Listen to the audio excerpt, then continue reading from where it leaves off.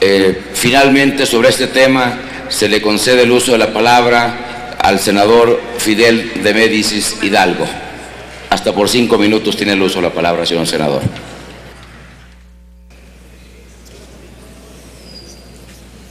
Muchas gracias, ciudadano presidente, con su venia.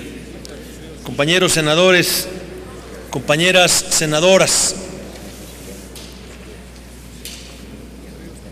el hecho de plasmar en la Constitución de la República postulados como el que estamos discutiendo en este momento, en donde la juventud tiene derecho a su desarrollo integral, el cual se alcanzará mediante la protección de los derechos humanos y las garantías reconocidas en esta Constitución.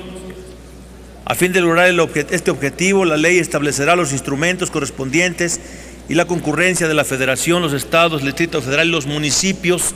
Sin duda que es un avance, paso necesario para poder reglamentar estos derechos. No podemos hablar del desarrollo, por ejemplo, en materia educativa, si la lucha que dieron los maestros de México para que en el tercero constitucional quedara preescolar como obligatorio en educación básica, no se hubiera consolidado si no se plasma en la Constitución de la República. Lo que ha venido impulsando el Partido de la Revolución Democrática desde su nacimiento, que la educación sea obligatoria desde preescolar hasta la universidad, tampoco se hubiese logrado si no se plasma que bachillerato sea obligatorio y gratuito en la Constitución de la República. Por eso es muy importante la reforma que se está haciendo o la adición que se está haciendo al cuarto constitucional para garantizar el derecho de los jóvenes a un desarrollo integral. Coincidimos con la senadora Sansores y con el senador Bartlett en el hecho de que junto a esto debe de plantearse con mucha claridad la ley reglamentaria para que se aterrice lo aquí planteado y en la ley reglamentaria plantear con mucha claridad las políticas públicas que obliguen al Estado mexicano a garantizar estos derechos. Si nos quedamos en el nivel constitucional y no obligamos al gobierno de la República a que impulse políticas públicas para garantizar este derecho, compañeros, solo será demagogia. Solo serán buenas intenciones.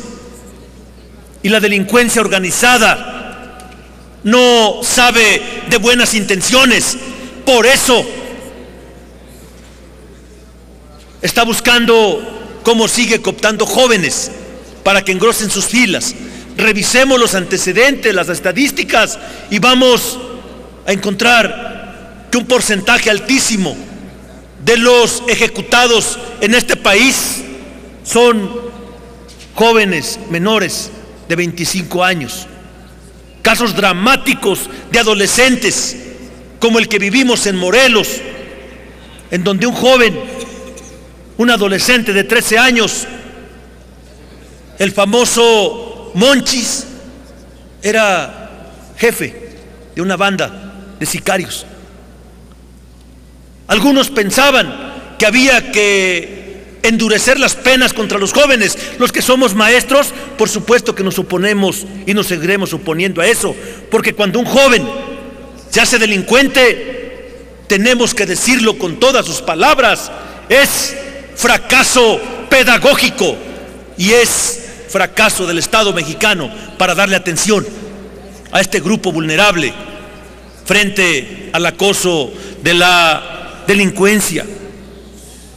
No podemos hablar de un Estado eficaz cuando no resuelve este tipo de problemas, cuando no encuentran los jóvenes empleo, cuando no encuentran posibilidades de seguir estudiando por el rechazo amplísimo que se tienen en la educación media superior y en la educación superior.